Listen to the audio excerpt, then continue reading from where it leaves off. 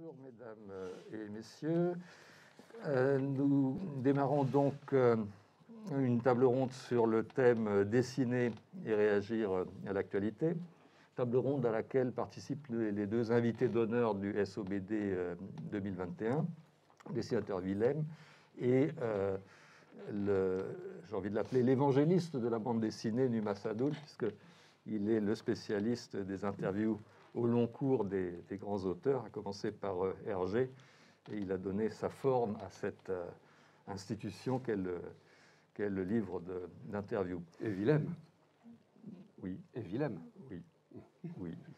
Euh, nous, nous sommes reliés au Salon des ouvrages sur la bande dessinée de Biais, puisque le dessin de presse, c'est de ça qu'on va parler maintenant, fait partie au sens large de ce qu'on pourrait appeler les littératures euh, dessinées. Mais il n'adopte pas euh, forcément la, forme du monde dessiné, c'est-à-dire la pluralité des, cases et un dispositif particulier textuel et imagier. Le dessin de presse a aussi comme caractéristique d'être transitoire. C'est ce que sous l'Ancien Régime, on, on aurait baptisé de cette expression que j'aime beaucoup de pièces fugitives. Dessins éditorial, ce sont des pièces fugitives, à telle enseigne que pour en comprendre le sens, il faut les recontextualiser quand on les revoit, ne serait-ce que quelques années euh, après, même quand ça fait partie de notre vécu, euh, notre vécu à nous. Euh, il est superflu de présenter Willem, vous le connaissez tous, euh, il est en France depuis euh, au moins 1968. Euh, il a participé à l'enragé à côté de Ciné, Wolinski, Cabu, Boss, Kreiser, Topor. il a dirigé Charlie Mensuel, il était dans Métal Hurlant, Le psychopathe, l'écho des savanes, Charlie Hebdo évidemment, où il est toujours, donc il est l'un des, l'un des piliers.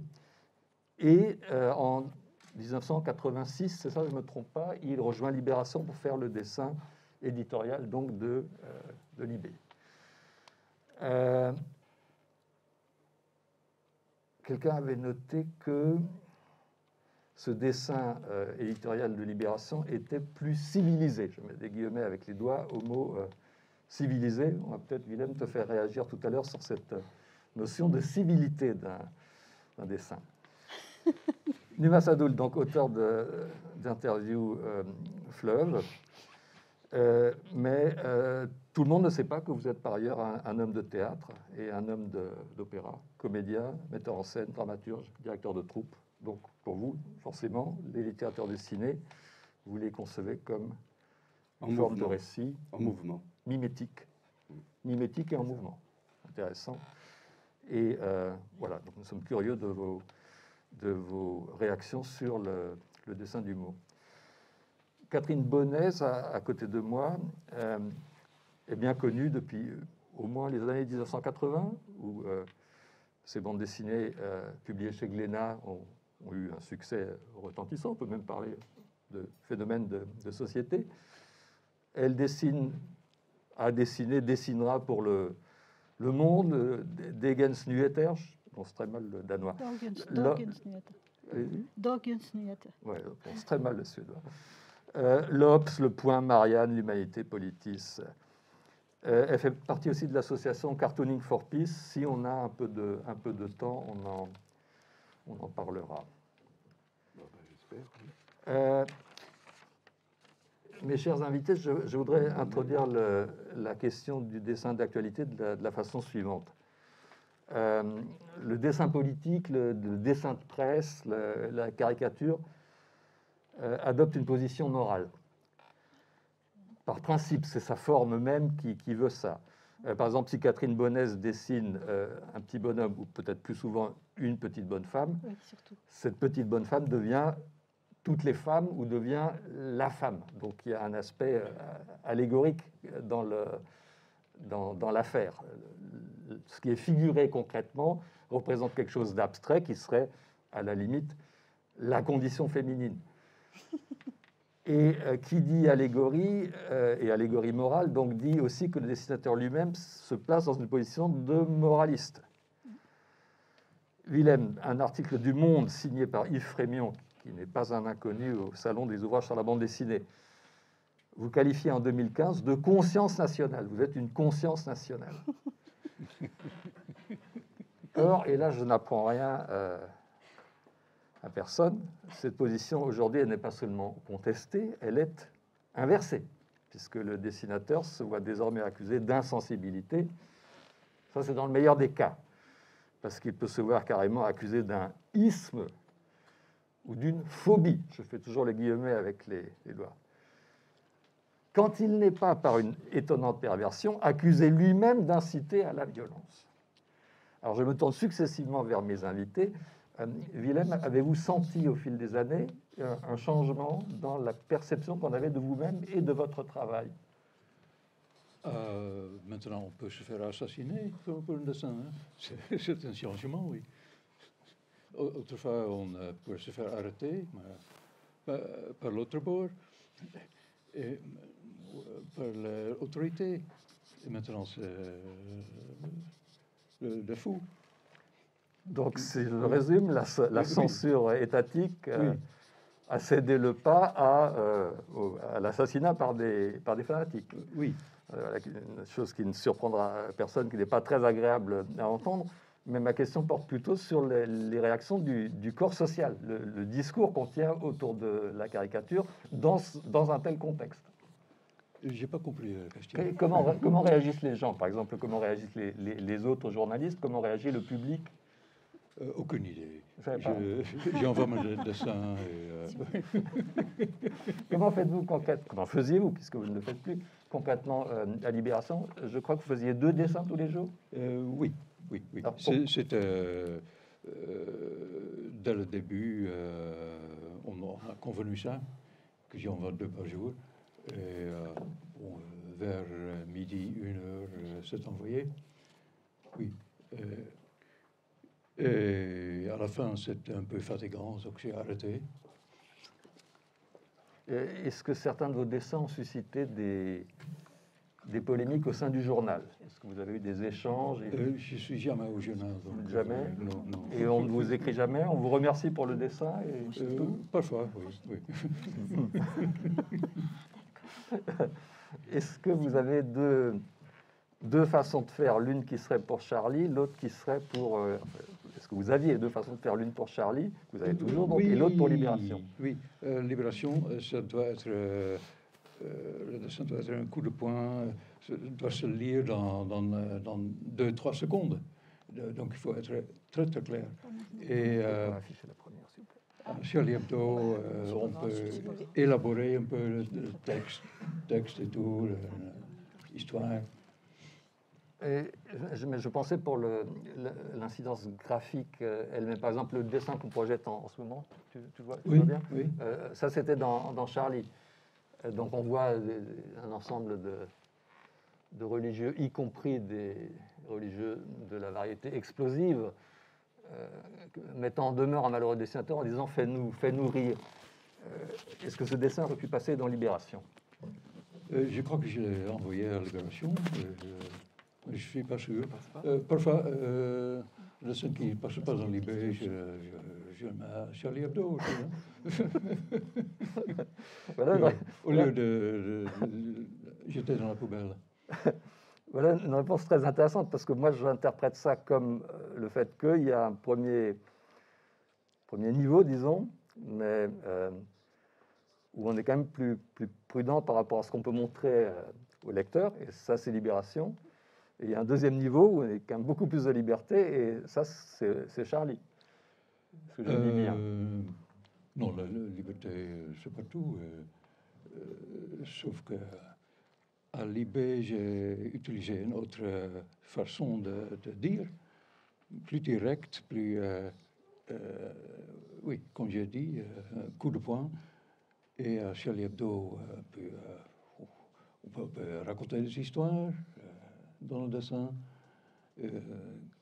qu'il faut lire, qu'il faut prendre son temps pour lire. Ça n'a rien à voir avec censure, censure ou quoi. D'accord, donc pour vous, la, la différence, c'est vraiment une différence de forme entre le, le dessin de presse, ça Oui, c'est pour Libération, oui, et la bande dessinée finalement. Euh. Et ça, c'est pour, euh, c'est pour Charlie, où vous avez en fait une page entière à- Non, mais- qui, qui est votre page, que vous habillez de votre... Mais par bonheur, je travaille pour des journaux euh, qui ne censurent pas. Oui, mais euh, justement, c'est la, question que j'essaie de vous, vous poser. Vous n'avez jamais été en, en but à la censure, ni à Libération, ni à, Non, ni non, à Charlie. non. Donc, euh, donc, euh, voilà. Je me tourne vers ma voisine, Catherine Bonnet, et je, je sais que je ne vais pas entendre la même chose parce que nous nous sommes concertés et que je sais que vous-même avez, vous, avez eu à vous plaindre parfois. Je, je projette un de vos, un de vos Ah. dessins qui me paraît moi, très, très drôle. Et alors, je parlais d'allégorie morale et de dessinateur qui prend, qui prend position, donc comme un, comme un éditorialiste. Donc c'est le, le point de vue d'eux ou le regard d'eux. Ici, ce serait le, le regard de Catherine Bonnet. Parlez-nous de ce dessin. Alors ça, ça a été fait il y a 30 ans. Parce que c'était déjà ça, ça continue. Euh, bon, ceci dit, il y avait, maintenant il y a moins de colonnes, apparemment, puisqu'il y a un peu plus de femmes. Mais alors ce dessin-là, c'est- ce qui est drôle, je vous le dis, c'est qu'il a plu aux hommes parce que les sexes étaient droits. Il a plu aux femmes parce qu'elles se moquaient de- de- du manque de parité euh, à l'Assemblée nationale. Mais alors ce, ce dessin, c'est dingue, dingue. Parce qu'au départ, euh, il y a eu juste un, un canard qui l'a publié, mais tellement petit que c'était une forme de censure parce qu'on ne pouvait pas voir ce que représentaient les colonnes. Qui- Qui était ce journal? Et je pense que c'était soit Politis, soit l'Humanité, l'un ou l'autre. Et euh, du coup, euh, j'ai pas voulu en rester là. Alors j'ai édité une série de cartes postales sur la, pari- enfin, la, oui, la place des femmes en politique. Euh, et alors, euh, du coup, j'ai eu du culot. J'en ai moins maintenant, vraiment. J'ai téléphoné à France 2 euh, et j'ai dit, écoutez, j'ai un dessin là pour le 8 mars, est-ce que ça vous intéresse? Et c'était un journaliste qui a eu des problèmes de censure après lui-même, euh, qui était le mari de Catherine Sellac. Ça vous dit quelque chose? Non? Bon, bref. Cérillon, ouais. Alors Cérillon me dit, ben oui, ok, c'est bon, euh, on fait un reportage, on vous envoie une équipe de télé. Donc euh, il m'envoie une équipe de télé, et là, la journaliste qui était toute jeune, c'était son premier reportage, me dit, Ah, vous allez voir, vous avez, là, vous avez le meilleur caméraman, donc, donc ça va être super. Et le caméraman me dit, écoutez, j'ai réfléchi dans le métro, et en fait, euh, voilà, les femmes, vous allez faire la vaisselle, et la politique, vous allez dessiner. Alors là, c'était contraire à toutes mes, évidemment, toutes, euh, toutes mes convictions, etc. La vaisselle, je la fais jamais. S'il y a quelqu'un qui veut venir la faire chez moi, ce sera super parce que j'en peux plus de cette vaisselle. Des fois, ça dure. Bref. Euh, et du coup, il me dit bah voilà. Je lui dis bah non. Je, vais me concentrer dans un coin. Je, je reviens. Je dis non, ce c'est pas possible, c'est pas moi. Alors du coup, euh, il me dit oh ça va être chiant. euh, on va vous, je vais vous prendre euh, en train de dessiner, parler, et puis il n'y aura pas de scoop, quoi. Il n'y aura pas de, de- de choses qui bougent tout le temps comme on voit à la télé maintenant, Mhm. et partout d'ailleurs, dans les affiches, sur Internet. Et, euh, et là, je, ça c'est pas de la c'est pas de la censure, mais vous allez voir, vous allez voir que je m'en suis bien sortie finalement. Je suis contente de ça parce que euh, bon, ils s'en vont, ils font leur reportage, ils s'en vont. Et je me dis, ça va être la cata. Et le 8 mars, je regarde la télé Mhm. et c'était super. Donc je téléphone à la journaliste, je lui dis mais qu'est-ce qui s'est passé? Elle me dit bah écoutez, je vous passe la monteuse. Et la monteuse me dit vous avez bien fait de dire non parce qu'on a été obligé de se casser la, de, de chercher des idées. Et en fait, ils ont projeté toutes les cartes postales sur le plafond de l'Assemblée nationale. Et, euh, et puis ils ont interviewé évidemment les, les, les députés à la sortie de l'Assemblée quoi.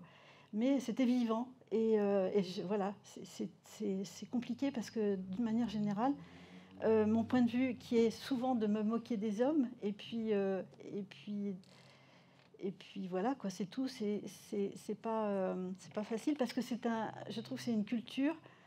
en plus, en, choisissant un personnage féminin qui est assez libre et que je, que je représente parfois nu ou, ou presque dénudé, ou enfin je sais pas, euh, eh, bien, eh bien ça a posé problème, il y a, parce que j'ai commencé il y a 45 ans, et ça, ça a tout de suite posé problème, parce que que ce soit Le Monde, Télérama, je ne sais quoi, en fait, ce qui les, ce qui les perturbait, c'était finalement y ait- que j'utilise juste euh, une femme toute seule, indépendante, euh, et, et, et- ils, ils n'arrivaient pas à la repérer, parce qu'elle n'était pas mariée, elle n'avait pas d'amant, elle n'avait pas d'enfant.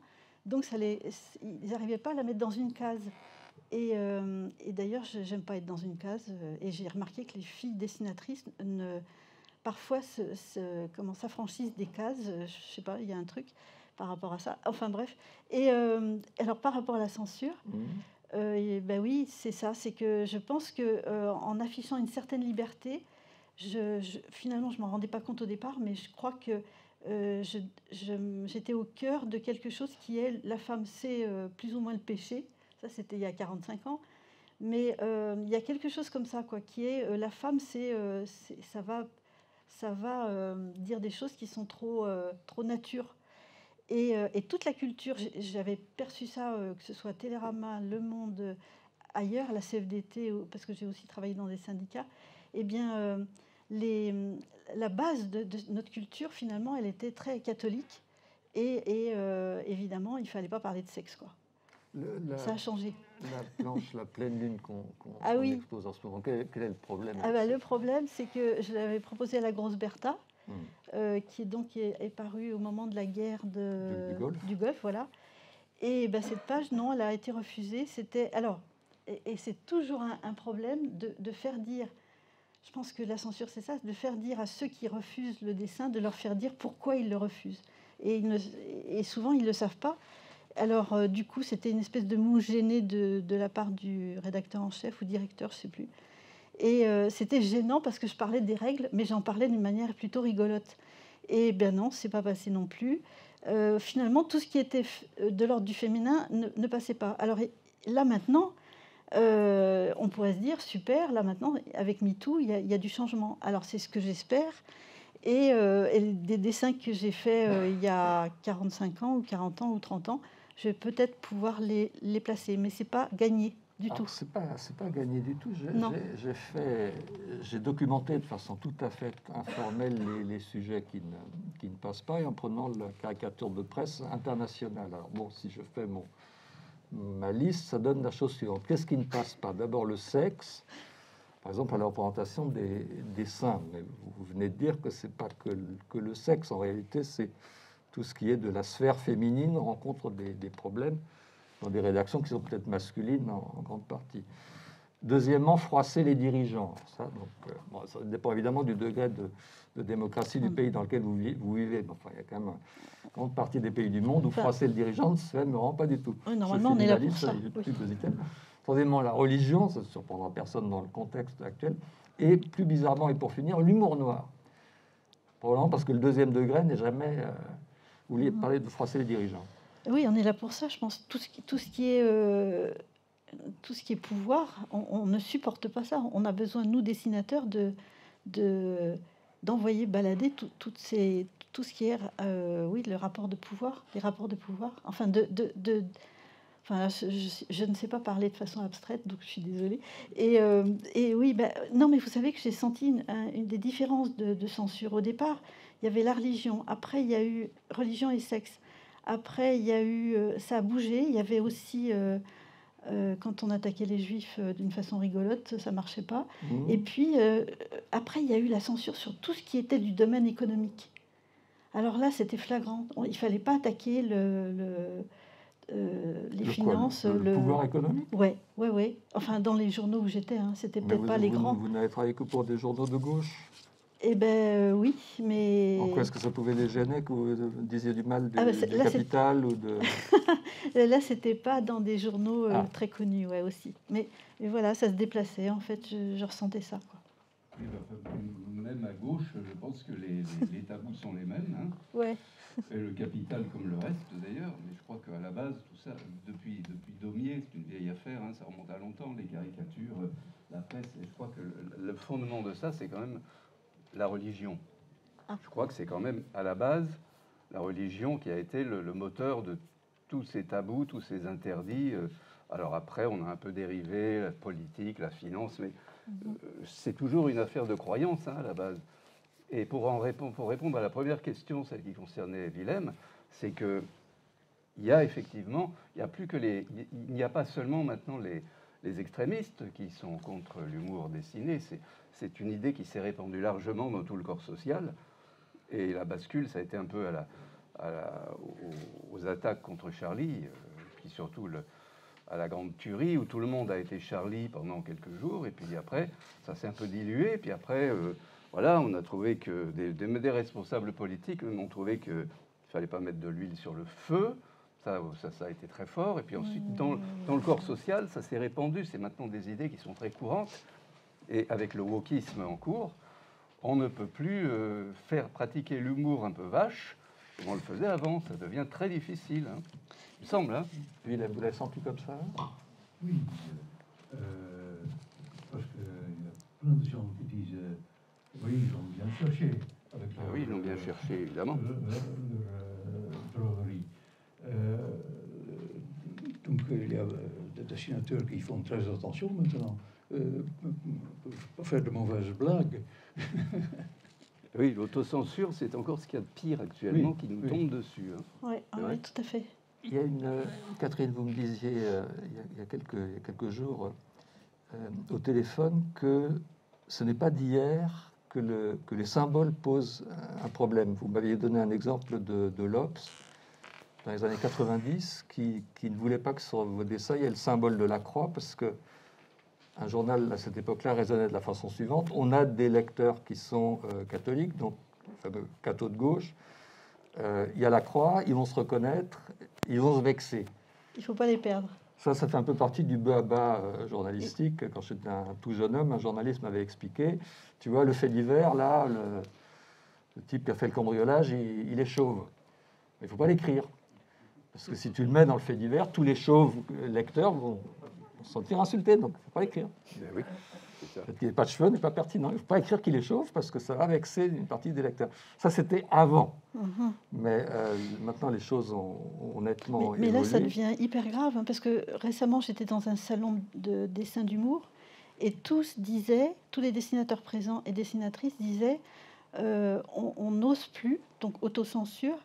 Et mais si on ose, euh, si on ose, on a, on a maintenant euh, voilà, il faut être lisse complètement, vraiment. C'est, il faut même pas avoir le, la, tu sais, la, la comment dire, la, la vivacité du trait euh, de Rézère et de Wolinski, mmh. c'est plus possible parce que euh, il faut un dessin qui soit surtout très et neutre et, et, et où les gens ne, oui, ne soient pas choqués. Voilà, pas d'aspérité, hein. pas d'aspérité, surtout même pas dans le dessin. Eh oui. C'est ça, dans le trait, oui, oui. ça, me, mène à une question qui est tout à fait, tout à fait précise. La, on a fait la, transition, c'est formidable. caricature, la caricature, ça vient de car, caricare. Caricare, ça veut dire charger. Donc, littéralement, en faire des tonnes. Je vous donne la, définition de la caricature dans, chez l'historien de l'art Gombrich.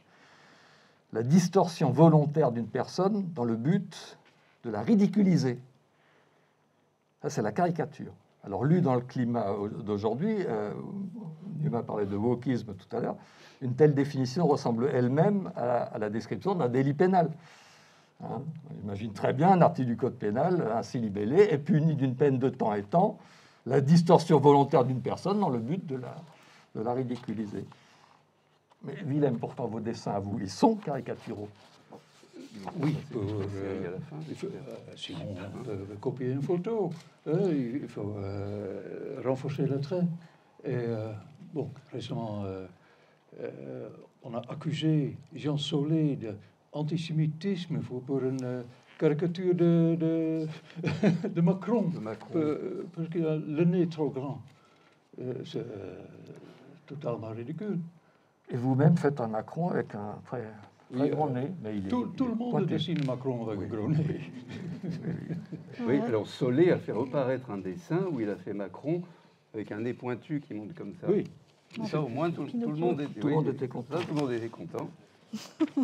Euh, ça me fait penser à l'affaire du New York Times qui avait renoncé à reproduire un, dessin de presse dans l'édition internationale. C'est comme ça que Patrick Chapat a perdu son emploi, nous, en parlions. Euh, et donc pourquoi? Parce qu'il y avait en, juin 2019 une caricature par Antonio Moreira Antunes de Trump en aveugle, avec comme chien d'aveugle Netanyahou, donc le Premier ministre israélien, donc tenu en laisse par Trump.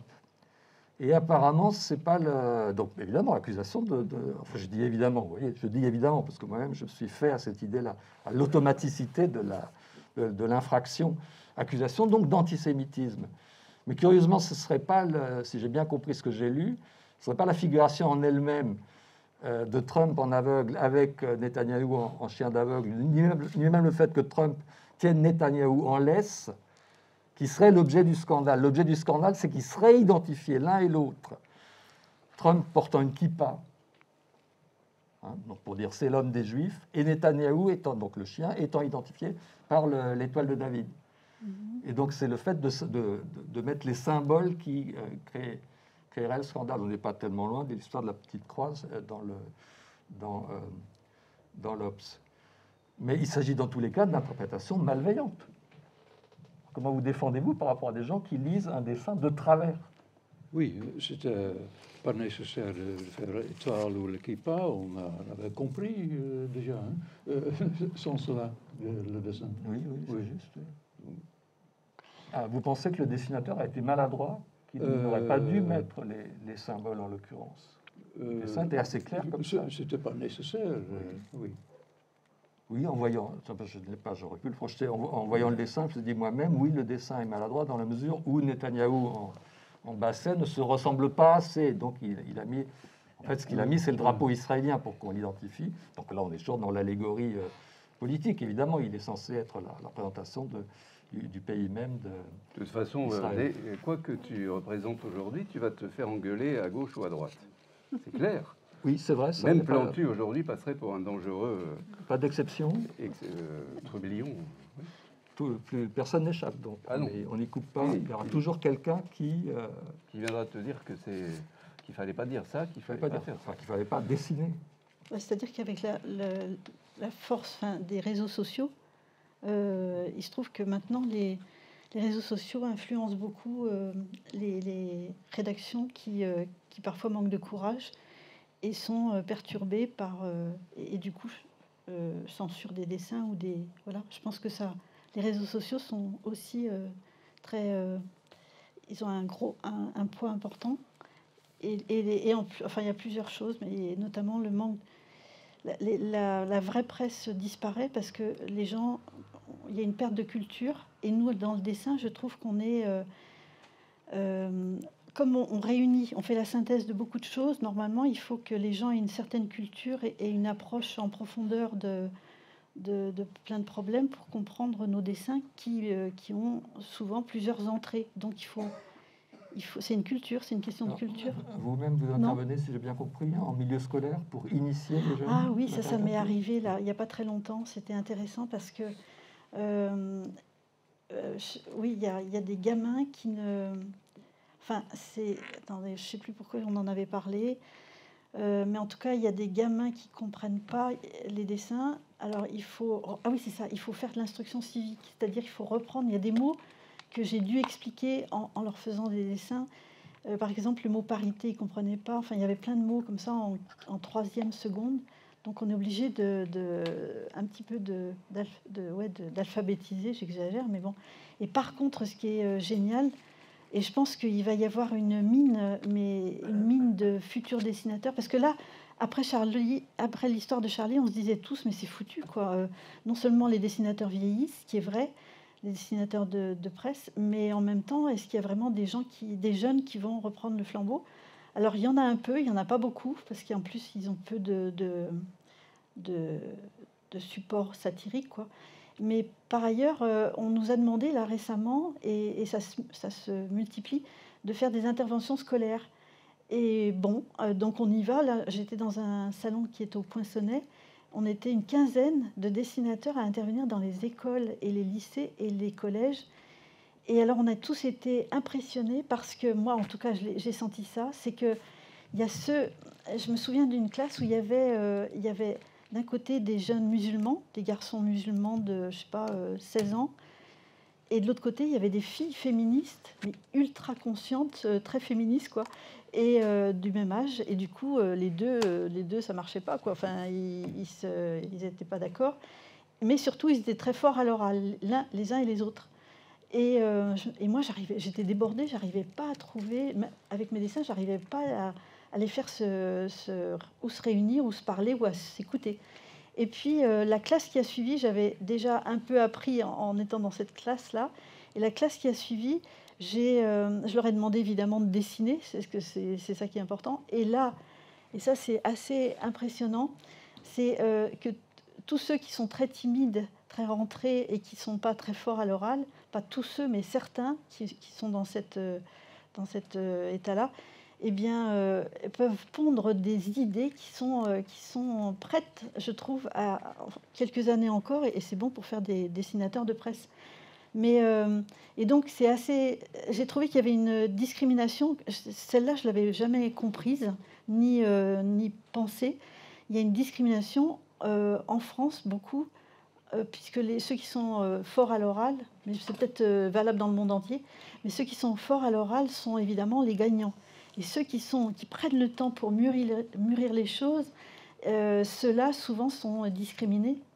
Et, euh, et bon, bah, du coup, là, là, il y avait un dessinateur, c'était fabuleux, parce, pas un dessinateur, pardon, un élève qui a euh, fait un dessin. Je lui ai dit, mais attends, viens en parler, parce que c'est ça qui compte, c'est qu'ils en parlent, qu'à partir de leur dessin, ils puissent parler de ce qu'ils ont à l'intérieur d'eux. quoi.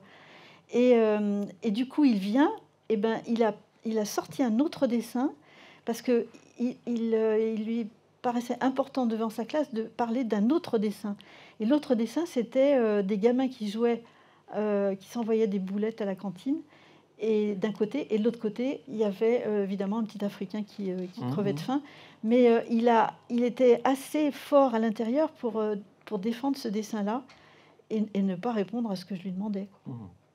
J'ai l'impression que dans la première situation, votre dessin ne fonctionnait plus parce que vous étiez vous-même au milieu d'une caricature. Si d'un côté vous aviez des, des petits musulmans réislamisés euh, Ouais. et, et teigneux, et de l'autre côté des féministes un peu caricaturales et, et un peu dans l'exagération, vous vous retrouvez, vous vous retrouviez vous-même au milieu d'une caricature. Oui, Et au cette- milieu de mes propres contra- contradictions. Oui, oui, Parce et dans que cette, dans cette position-là, vos dessins à vous n'étaient plus au courant Oui. parce que Ah oui. euh, le- là, là s'arrêtait le dessin et commençait le monde. C'était dans le monde. Euh, Willem, vous avez des expériences de parler à des jeunes, par exemple, d'aujourd'hui? Non, très peu. Très peu? Je non, je ne parle pas beaucoup. On a l'impression que vous êtes un peu en retrait. Oui. Euh, vous êtes évidemment atterré par ce qui s'est passé, par la situation actuelle, mais euh, on a l'impression que vous, vous en détachez. Vous n'êtes pas dans l'idée qu'il faudrait par exemple sauver la caricature ou bien. Euh, non, c'est- très difficile parce que si on dessine un barbu, il y a des gens qui comprennent mal. Euh, euh, le lendemain, il y a de, de manif à Pakistan parce qu'on croit qu'on a dessiné le prophète. Oui, il y a ce problème-là, effectivement. Mais alors, comment vous réagissez par rapport à ça? Vous dites, ben, tant, tant- tant pis pour eux ou tant pis pour moi ou... Euh, pas tant pis pour moi, non. Non, non, non. non. Oui, le, le mal comprenant. Oui, oui. Oui.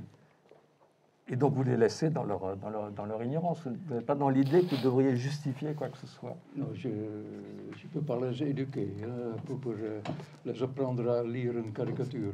Je- C'est une, euh, c'est une remarque qui est très, Pardon. qui est très intéressante parce que Numa disait avant, donc évidemment le- l'attentat de, de Charlie donc en janvier 2015 et le- des réactions du style il fallait pas provoquer.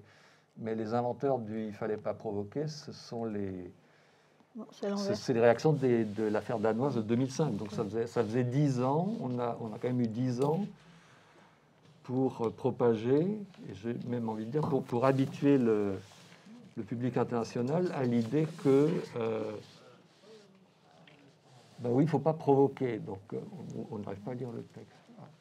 Ah oui, il faut pas. rega- pro- il faut regarder le. Et euh, en bien. 2005, avec l'affaire danoise, c'était d'autant plus euh, curieux que euh, il n'y avait rien, puisque les caricatures danoises étaient, étaient parues euh, sans aucune difficulté à l'automne euh, 2004. En, deux- en 2005, il y avait eu une campagne de presse lancée par un, un imam palestinien résident au, au Danemark. Mais Caroline Tourès avait fait un film là-dessus. L'affaire est bien, est bien documentée. Et donc c'est une alliance de- des régimes euh, arabes et des mosquées qui ont déclenché de toutes pièces cette, cette campagne anti-danoise, en l'occurrence avec boycott. Il y, a eu des, il, y a eu, des émeutes, il y a eu des morts. Euh, et à ce moment-là, des bonnes âmes occidentales ont commencé à dire Ah oui, non, mais attendez, nous, on est une société complètement déchristianisée, donc pour nous, la religion ne comprend même plus ce que c'est. Mais pour eux, donc eux, évidemment, le, le monde musulman, euh, c'est très important et la vraie tolérance consiste à se mettre dans leurs chaussures à eux, dans leur babouche en l'occurrence. C'est précisément, euh, Willem, ce que, vous- ce que vous niez. Il n'y a aucune raison qu'on se mette dans leur babouche. Euh, Non, bien, bien sûr que non. Mais euh, c'est pas pour le, le chrétien aussi. Hein. Mm. Euh, on a tenté de faire un procès euh, parce que je dessinais Jésus avec une capote. Euh, euh, mais euh, ils ont perdu, je crois. Oui, ça fait longtemps qu'ils perdent chaque fois. Oui, ça, c'est c'est- bien pour ça que Ah certains ont compris qu'il valait mieux pas faire de procès et qu'il valait mieux tirer dans le tas, parce que là, au moins, c'est- on est sûr de gagner. On est sûr de gagner son procès. Mais comme disait, euh, comme disait Cavana, un dessin d'humour, euh, c'est un coup de poing dans la gueule. C'est pour ça que c'est difficile de faire admettre à des gens, surtout maintenant que les esprits sont un peu aseptisés, c'est difficile de faire admettre qu'un coup de poing dans la gueule, c'est salutaire. C'est, pas possible autrement. Voilà. Et quelqu'un disait tout à l'heure qu'il fallait peut-être apprendre à lire les dessins d'humour. Je pense que c'est de plus en plus certain. D'ailleurs, à une certaine époque, il fallait apprendre à lire la bande dessinée. Euh, je connais plein de gens qui ne savent pas comment on lit une bande dessinée parce qu'il y a un, tour d'esprit qu'il faut avoir pour lire dans un certain sens et enchaîner les, images. Et le dessin d'humour, c'est une espèce de synthèse en quelques traits de toute une action qui, ou de toute une morale, comme tu disais tout à l'heure. Donc ça, il faut aussi, si on n'a pas les clés, eh ben, on ne sait pas ce que c'est. On voit des barbus, on voit des capotes, euh, voilà. Puis après, on en tire des conclusions. Mais c'est vrai que c'est pas évident aujourd'hui. Ce que vous décrivez les uns et les autres, ça me fait penser aux réactions d'un public peu éduqué devant, par exemple, un tableau abstrait. Euh, donc voilà, Monsieur Tout le Monde devant un tableau abstrait dans un musée d'art moderne. Je parle bien un tableau, hein, d'une peinture, mais qui ne représente rien, qui n'est pas figuratif. Et Monsieur Tout le Monde se sent d'abord très gêné, parce que ayant l'impression de ne pas comprendre. Et dans un deuxième temps, Monsieur Tout le Monde essaie d'y retrouver justement des éléments figuratifs. D'où la phrase qui commence par Moi j'y vois suit évidemment une absurdité quel- quelconque, puisque la, la toile est abstraite. Mais euh, c'est le moi j'y vois. Et j'ai l'impression que la lecture du dessin d'humour maintenant procède de la même façon, c'est-à-dire d'une espèce de, de, de sémiologie folle ou de sémiologie euh, sauvage. C'est le moi j'y vois. Et euh, si les gens ont mal, ont mal déjeuné ou s'ils se sont levés du, du- du pied gauche, enfin, ce qu'ils y voient est euh, très outrageant de leur point de vue. Donc, il y, a- il y a peu de réponses. il y a peu de réponses à, à ça, effectivement. Mais je, je voudrais aller plus loin. Est-ce qu'il n'y a pas un changement dans le, la position même de la caricature? Je lisais la définition avant de la caricature, donc qui est censée exagérer dans le but de se moquer. Euh, il y a un code social de l'humour euh, graphique. Euh, le dessin, il est effectivement outrageant. La façon dont Willem dessine Macron, c'est effectivement outrageant. J'ai remarqué tout à l'heure, avant qu'on prenne le, micro, que vos personnages sur les, sur vos dessins de, pour Libé éructent très souvent et très souvent ils recrachent des morceaux. Donc c'est des gens qui baffrent beaucoup et puis ils sont tout le temps en train de, de, de recracher des bouts de- d'aliments. Oui, c'est- pour euh, bien montrer qu'il parle. Euh, c'est visualiser, euh, oui, il sort quelque chose de la bouche. Et, et donc c'est- outrageant, c'est une est- Oui, c'est- qui est c'est- outrageant. Alors traditionnellement, quand, euh, quand le dessin est précisément outrageant, c'est justement là qu'il échappe à la, à la loi. Donc en France, je pense à la loi de 1880 sur la presse qui définit donc justement l'injure et la, et la diffamation. La jurisprudence, pour le moment, est, est constante. Si le juge euh, relève que c'est une caricature, qu'elle est complètement difforme et que le dessin est vraiment particulièrement outrageant, il dit bon, donc tout va bien. Euh, on, on déboute le plaignant puisque c'est clair, c'est une caricature. Hmm. C'est un dessin, il est absolument grotesque et il est franchement insultant. Donc il n'y a plus aucun problème. Parce que le code social de la caricature est par définition d'outrager. Mais là, on est arrivé dans une civilisation autre, qui, qui- qui- qui n'a pas de nom, mais qui en tout cas n'est plus la, n'est plus la nôtre. Enfin, certainement pas celle qui est, qui est héritée des Lumières, ou ça se retourne, c'est ce que je disais avant en disant ça ressemblerait assez à la définition d'une infraction euh, pénale, Euh, une représentation euh, exagérée dans le but de se moquer de, de quelqu'un. Peut-être qu'un jour on votera une loi contre, contre ça, c'est d'ailleurs ce que le monde musulman nous réclame à, à corps, ça vient. à corps et à cri. Ça vient. Ça vient? Peut-être, oui, je pense que ça vient.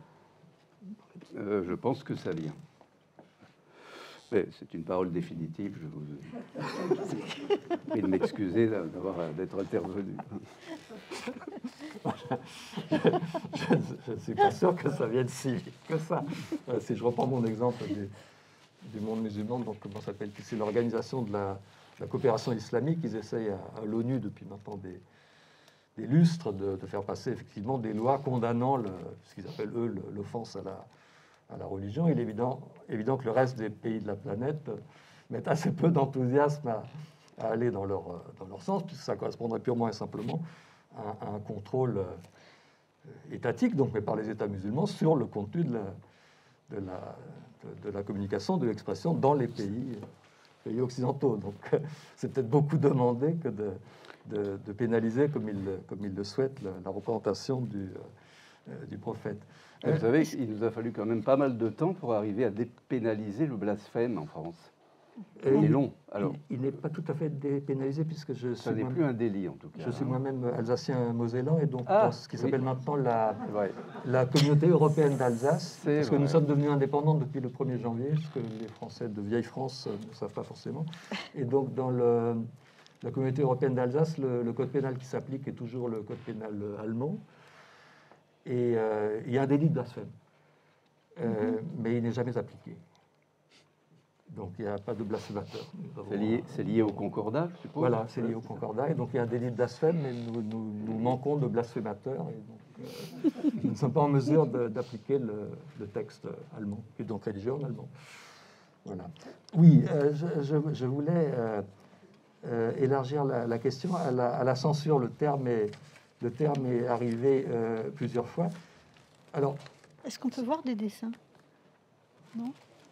Oui, mais Ouais, le problème, c'est que quand j'essaie de montrer un dessin, il n'y a rien qui se... qui le- Ah ouais Parce qui que la- il y avait un dessin sur la, ou- sur la musulmane. Tu as vu tout à l'heure, elle a appuyé, elle a, poussé, Elle a elle a- appuyé. elle a glissé le doigt dessus. Tu as appuyé, tu le glisses doigt. le doigt. Voilà. Ah non, non, c'est moi, ça, fait pas, moi, ça me donne le CAC 40 et ça me donne rien de- rien d'autre. On est tous des vieux croutons. Quick, quick time. Ah ah Alors, il y en a un qui s'appelle musulmane. Là. Ouais, je voulais le Ah montrer oui. celui-là. Alors, ma, que- Voilà. ma question est la, est la ma question est la suivante. Est-ce que, le- est-ce que la notion de censure... Normalement, culturellement, on est tous contre la censure. Si vous êtes assis dans cette salle, c'est que vous avez des atomes crochés avec la culture graphique et vous êtes contre la censure. Alors, ça, ça se confond avec la définition de- de- de, Non, celui-là, il est passé. Celui-là, il est. Mais moi, je me demande si le, le concept même de censure a encore euh, une utilité, si le terme est encore adapté, vu que les interdits, on l'a dit avant, ne viennent plus de l'État, mais viennent du corps social. Et le terme de censure recouvre trop de choses différentes. Par exemple, le refus d'une rédaction de publier un dessin, est-ce que c'est la même chose qu'une menace émanant d'un extrémiste qui va tuer tout le monde? Euh, La vandalisation de la statuaire publique par, par les woke, est-ce que c'est la même chose que l'exemple qu'on donnait avec les, les groupes d'extrême droite? Vous savez qu'à Qui- un moment donné, je, je rêve, je me souviens très bien, je crois que j'ai eu un dessin refusé. Et la nuit qui a suivi, j'ai rêvé que les Chinois essayaient de rentrer chez moi. Donc, vous aviez transformé le, oui, complètement. Je me suis dit, le- refus de la rédaction Oui, en oui. un interdit étatique venant Oui, d'une oui, dictature oui, qui, en oui. l'occurrence, c'était la chinoise. fait, C'est extraordinaire comme, comme déplacement de, onirique. Euh, oui, donc voilà, est-ce que les woke, euh, mais je pose la question à, à Numa, puisque c'est vous qui parliez des, des groupes euh, catholiques d'extrême droite, vous faisiez allusion, je pense, à, à la griffe, c'est la griffe qui a flanqué Oui, la griffe faisait une dizaine des de procès à Charlie sous prétexte que montrer le petit Jésus, c'était... euh, crois qu'elle n'en a pas gagné un seul. hein. Non, parce que Euh, l'argument c'est justement c'est outrageant pour les catholiques. Donc il y a un raisonnement de type transitif du style euh, la représentation du petit Jésus est outrageante, les catholiques croient au petit Jésus et donc l'outrage s'adresse aux catholiques, ce qui évidemment juridiquement n'a aucun aucun sens euh, euh, particulier. Mais est-ce que vous diriez que les woke et, les- et la griffe c'est la même euh, c'est au moins la même le même mode de Non, pas, pas pour l'instant. Euh, Les woke, ça part d'un bon sentiment. Euh, On peut dire à la base, c'est pour euh, essayer de, de- de gommer des inégalités, des exagérations. C'est parti sur, sur l'esclavagisme, d'ailleurs, à la base. Enfin, sur- Tandis que la griffe, sa fonction, c'est dans ses statuts d'ailleurs, c'est de défendre par tous les moyens le- le- le- les, les- canons traditionnels de la religion. Donc voilà, mais je sais pas, on parle plus beaucoup de la griffe. Maintenant. c'est- Il me semble que dans les, dans les statuts de. enfin, en tout cas, dans les, dans, les, dans les buts de la griffe, il est question de se, se définir soi-même comme une minorité opprimée et réclamer de la collectivité, donc de, de l'État, en l'occurrence de la justice, qu'elle qu'elle- qu'elle nous fasse droit, qu'elle fasse droit. Oui, la protection des minorités, c'est vrai. Et soyons justes, ce ne sont pas les musulmans qui ont inventé l'idée de flanquer des procès à des caricaturistes pour, pour outrage à ce qu'ils appellent euh, les sentiments religieux. C'est bel et bien la griffe, donc c'est bien l'extrême droite euh, catholique qui a, qui a eu l'idée. Et la griffe, enfin l'extrême droite catholique a eu pendant euh, un bon moment des actions assez violentes. Ça s'est un peu calmé ces temps-ci, mais on se rappelle tous l'incendie du- d'un cinéma à Saint-Michel, Oui, il y avait eu ça. euh, parce qu'on présentait la dernière tentation du Christ et il y avait eu un mort dans cet incendie. Donc il y avait des actions violentes. Euh, voilà. euh, parfois, ils se manifestent encore, mais un jour, euh, ils en viendront peut-être au bombardement et au, au Kalachnikov aussi, parce que si on veut se faire entendre et qu'on n'y arrive pas, ben, il y a un moment, il faut, faut un coup de poing dans la gueule, comme disait Cavana. Qu'est-ce que vous en pensez Guilhem Vous Oui, êtes menacé par l'extrême droite euh, catholique Euh, non. Des menaces Euh, non, Le téléphone sonne parfois Euh, non. Pas de ménage euh, personnel, non. J'ai pas de protection policière non plus. comme, Plantu en a. Ah oui, vous êtes effectivement dans une position très, très particulière, parce que vous êtes quand même au, centre de la tornade. Oui. Vous n'avez pas de protection policière. Non, non, non, non. Vous n'êtes pas sur les réseaux sociaux, vous ne savez pas ce qu'on dit de vos, de vos dessins. Non. Vous vous en fichez. Oui, totalement. Sage, sage attitude. sage attitude. En fait, la question devient est-ce qu'on a le droit de se détacher et de refuser le, le, le- le discours finalement des, des différentes. alors, C'est plus des minorités, c'est plutôt des. alors, C'est des minorités, c'est des minorités d'émeutiers. Donc, euh, est-ce qu'on a le droit de refuser le discours des, des émeutiers, de ne leur accorder aucune attention? Est-ce que ça ne fait que décupler leur rage? Là, il y a une une crainte que je me permets de- d'exprimer. Euh, on, va, on va laisser le- les- la, la salle, la salle parler pour Ah poser oui. des, Ah des questions. Je, je voulais juste dire une dernière, une dernière chose. Euh. J'avais moi-même noté, mais là. il y a longtemps, il y a huit ans, j'ai vérifié que le, le débat Oui. sur les caricatures était pour le moment cantonné à la représentation du prophète. Ensuite, à ce qu'on sait, enfin. euh, et donc que ça affectait la représentation des figures religieuses peut-être, mais que ça n'affectait pas l'ensemble de l'iconosphère. Et je, je suis revenu sur ma position que je trouve avec le recul bien, bien naïve. Et je crois que ce qu'on a dit les uns et les autres, c'est précisément euh, l'illustration que maintenant l'ensemble de l'iconosphère est affecté, puisque n'importe qui peut s'offusquer de n'importe quoi. Est-ce que Ah, je vais juste montrer le dessin de Catherine. Non, mais je sais pas. Willem, est-ce que vous êtes d'accord avec ça? Est-ce qu'on est dans un monde où n'importe qui s'offusque de n'importe quoi? Oui, on, euh, les gens ne comprennent pas le deuxième degré. euh, C'est figé dans le marbre pour l'éternité. euh, euh, comme tu disais, je ne suis pas tout ce qui se dit sur Internet. Je- non. Parce, parce que là, on dit euh, apparemment vraiment n'importe quoi. Et c'est au contraire. Humain Vous pensez que c'est un peu la fin de la caricature Euh, c'est pas, euh, je pense que, enfin, je- Non, ça s'éduque. voilà, ça s'éduque, mais enfin, euh, moi je suis plutôt pessimiste, alors Ouais. je, je vais pas continuer parce que sinon je vais dé- démoraliser tout le monde ici. Alors, je vais continuer. Mais je pense qu'il faut toujours espérer. voilà, Mm. faut toujours espérer que la, la vague. va- On procède par vague. hein, On est monté pendant des décennies, puis on redescend, mais ça va prendre des décennies peut-être aussi avant qu'on descende de toucher le fond. Alors euh, bon, voilà, et on a perdu l'image. en plus. Je vais continuer. Pour vous, c'est ce que disait Madame Bonet au, au téléphone. Le, New York Times, qui fait maintenant une campagne d'abonnement numérique, qui rencontre un succès impressionnant. Il y a plusieurs millions d'abonnés euh, numériques. C'est un journal où il n'y a pas de dessin. Dans l'édition nationale, il n'y en avait plus depuis longtemps. hein. Donc, euh, il n'y a pas de dessin. Et on s'adresse à une élite woke qui a payé 70 000 dollars pour faire des études à la, fac. Et la preuve qu'ils sont woke et qu'ils étaient à la fac et qu'ils sont plus intelligents que tout le monde, c'est que euh, le journal est à péage et que donc ce qu'il y a écrit dedans, qui est donc le, le wokisme euh, par A plus B, n'est pas accessible au commun des mortels. Donc ces gens sont enfermés dans une bulle, bulle cognitive, et dans cette bulle cognitive, qui est donc l'abonnement numérique au New York Times, il n'y a plus de dessin du tout. Je laisse la parole à la salle.